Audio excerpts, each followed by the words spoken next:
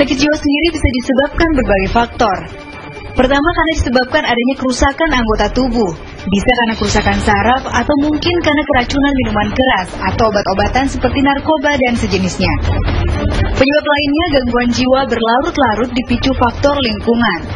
Skizofrenia adalah salah satu penyakit jiwa yang paling banyak terjadi dibanding jenis penyakit jiwa lainnya.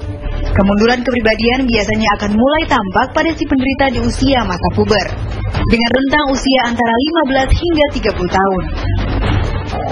Misalnya suara orang bicara tapi orangnya nggak ada, ada satu waham atau delusi di mana ada keyakinan yang salah namun tetap dipertahankan sekalipun sudah ditunjukkan bukti yang nyata.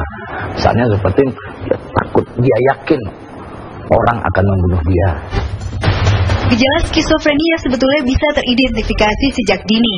Tanda-tandanya bisa dikenali bila sering mengalami halusinasi, mendengar bisikan-bisikan berupa perintah melakukan sesuatu dan juga biasanya mengalami kesulitan dalam kehidupan sosial. Salah satu penyebab skizofrenia adalah faktor genetik atau keturunan. Saat tumbuh di usia masa puber, penderita skizofrenia akan mengalami kemunduran kepribadian. Jika dibiarkan, gangguan jiwa ini akan terus berlanjut dan makin parah. Kondisi bisa diperburuk dengan konsumsi zat adiktif. Meski begitu, skizofrenia masih bisa disembuhkan.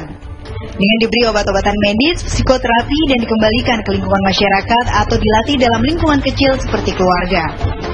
Dela Trikiani, Widya Seli, Jakarta.